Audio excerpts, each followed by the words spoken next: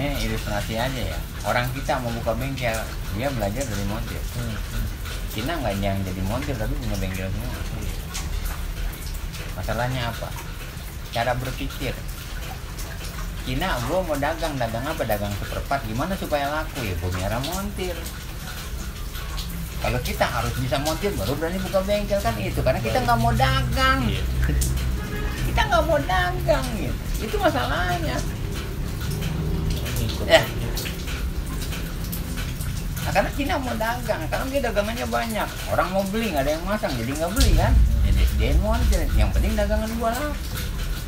Yang hitung kosnya gimana? Itu punya hitungannya. Beda dengan orang kita. Yang namanya tenaga orang apa orang kerja skill nih jasa itu nggak ada yang kaya, susah. Buat kaya susah. Karena relatif.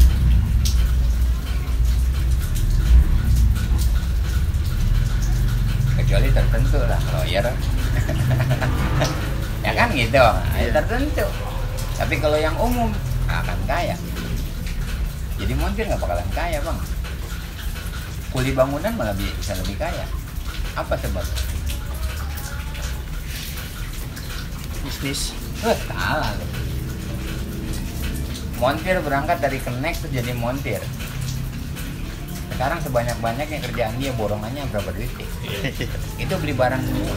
Tapi kalau tukang lo ke tukang lo disuruh borong rumah atuh itu untungnya udah kelihatan. Lu bisa beli motor. Motor nggak akan ada pak. Nggak bisa. Kosnya beda beda nggak bisa lu mau ngadepin. Nah, cuman kalau stabil nah itu yang beda. Stabil aja kalau tukang kalau model di sini jangan harap orang bangun baru. Tapi renovasi. Tanah Iya. kosong udah nggak ada. Hmm. Nah, jadi kepukulnya mahal kayak begitu. Kepukulnya mahal kayak gitu. Tambah saya bilang tadi tukang TV servis sekarang udah nggak ada. Itu tergusur. Terus apalagi tukang jahit? Udah nggak ada. Iya. langka.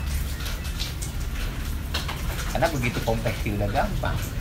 Mana yang mau jadi tukang jahit udah beli bajingan sekarang tukang jahit yang masih bertahan itu yang punya rekanan aja. Yang apa punya konveksi juga baju seragam anak sekolah. Eh dari itu mau udah bubar. Dulu berjamur